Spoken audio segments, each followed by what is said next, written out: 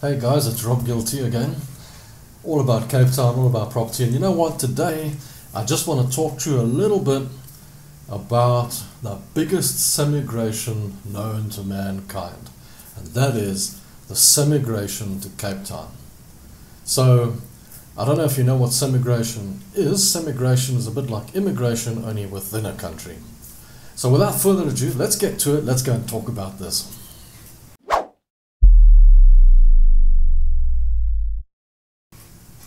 So, yes, semigration.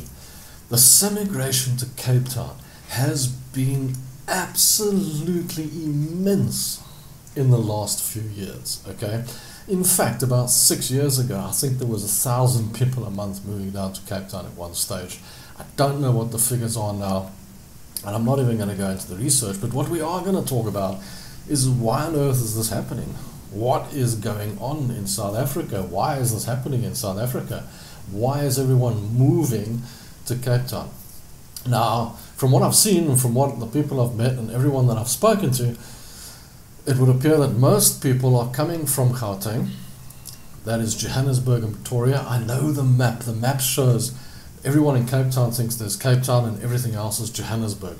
Well, it's not like that, guys. There's a lot of other towns up there as well. There's more than just Johannesburg. So, yes, Gauteng, which is Johannesburg and Pretoria, basically northwest of Brits, lots of people coming from northwest. And then also Natal is another big one. So I would say the number one semigration is from Gauteng to Cape Town, and probably the number two is probably Natal to Cape Town as well. And then you've got Limpopo province, which was Limpopo province, uh, Mpumalanga, whatever it's called now. And it, it, all the people from up there are also starting to move down. A lot of people from farms, people that used to live on farms, are moving into the city. Okay? And, and the discussion is what causes this type of thing in a country? Is it is it finance? Is is it uh, economy? Um, but what is it really? And, and and what we found is it's crime.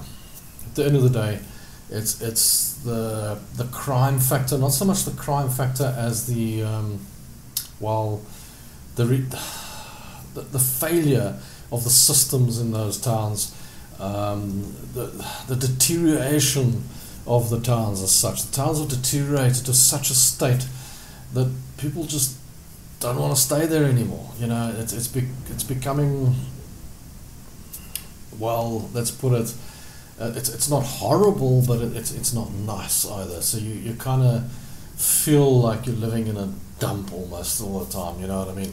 So what, what, what, what I've seen going up there and visiting and that sort of thing is um, when you arrive, you, you immediately notice the, the roads have got potholes and the roads don't look good. The, the, the traffic lights are not working. We call them robots in South Africa. I remember my cousin came over and I said, Stop at the robot. And he said, What the hell is a robot? A robot's one of those things that walk around going, No, no, that's the traffic light.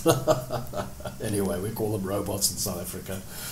And, and half of them are not working. There's people at the side of the road begging and jumping around and doing shows and all the rest of it, but you just don't feel safe because so many people are getting robbed inside their homes when they're sleeping at night. People are breaking in and killing them for no reason at all. People getting mugged and shot in their cars for no reason at all.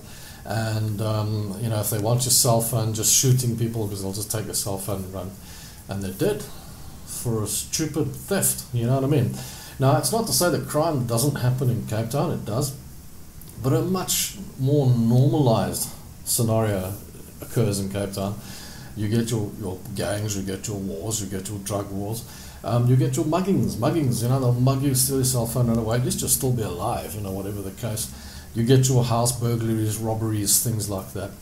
Um, car thefts, uh, hijackings still happen. But people tend not to die when these things happen, okay? Most of the time. So that's the problem with the crime in those other towns at the moment is people are afraid of dying because what's happening is when a crime like this occurs or affects people, people end up dying.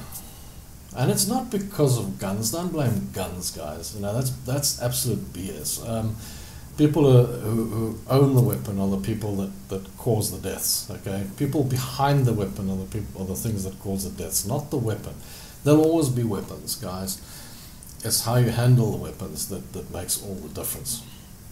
If you're a piece of rubbish that lies behind a weapon and blames the weapon that you, you killed the oak because you had a weapon, you are a piece of rubbish, okay? You killed someone at the end of the day, and you should be punished for it. So, you know, statistics wise, I don't know, but this is what we are talking about at the moment. People that are coming here are saying they feel unsafe in those towns, they don't feel comfortable in those towns anymore. Everything's a mess. Now, it's very noticeable when you start seeing shops, stores, normal stores, normal shops which in a normal high street are beautiful, you know, like nice frontal areas, things advertised, open windows, big windows, sliding doors that are open for you to come and go, that sort of thing. And you go up there and you start seeing the stores have got roller shutter doors that go down at night so that people can't break through. Or if they are open during the day, there's a gate, a security gate to go in and out of the store.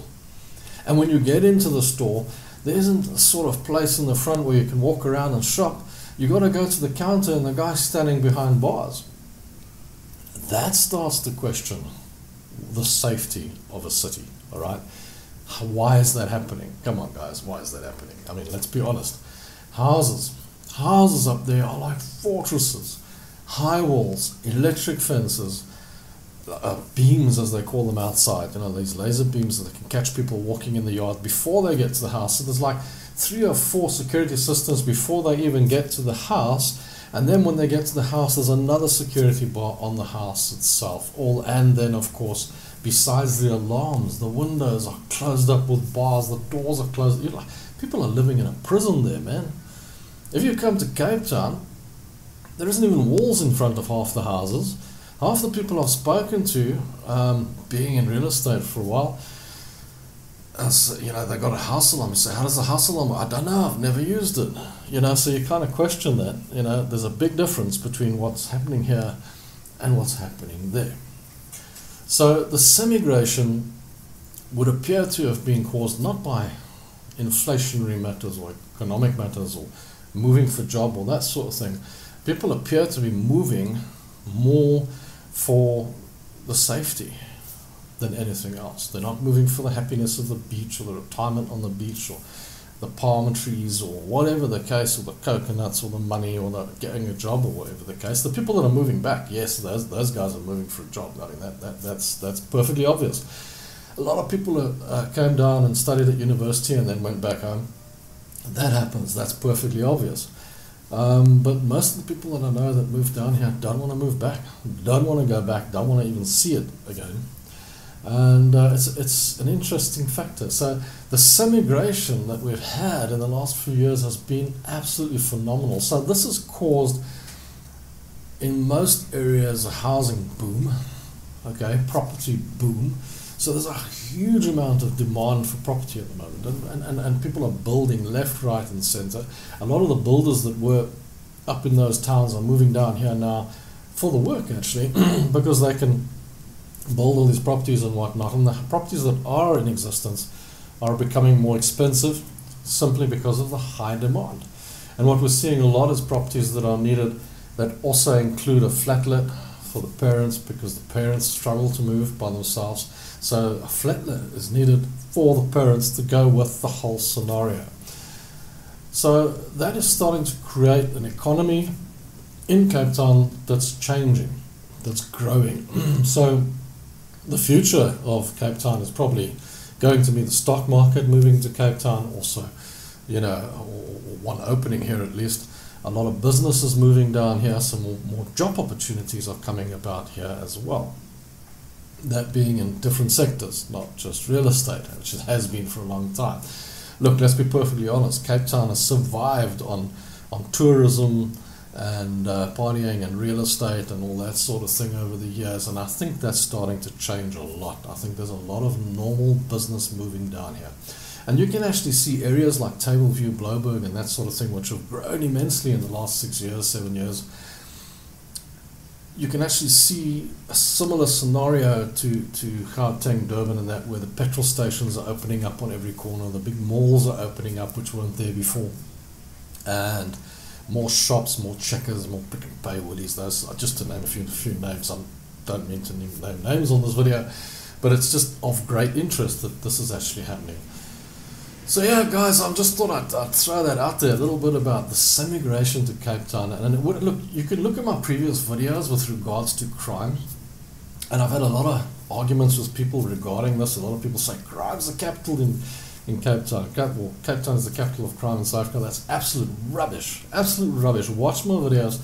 I don't believe those statistics. Absolute rubbish. The capital of crime is up north. It's nowhere near Cape Town. Cape Town is probably one of the safest towns in South Africa to live in. End of story.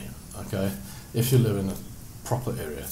So, guys, with that, um, if you're into property, go down, read the Millionaire Real Estate Agent book. Get one of those books down there. Those books are absolutely phenomenal, will help you in your career if you're in that career. If you're looking to buy, sell homes, that sort of thing, I've got books down there as well that you can have a look at. You can click on the link and you can get it online. If you prefer, go and get them at hard copy in the in the in the shops. And nothing to do with me. I'm not making money out of that. And also, um, go and check out our auto parts shop. We've got a Cape Town auto parts shop. It's an online store. It's down there in the description below. Like, comment, and subscribe. Always like, comment, and subscribe. That's really important if you like the videos. And guys, thank you so much for watching. I hope uh, you felt the same way as I do about this semigration. And hey, put it in the comments. Let me know in the comments what you think, what your thoughts on the whole matter. And uh, while you're there, don't forget to subscribe. Till next time, guys, it's Rob Gill Teachers.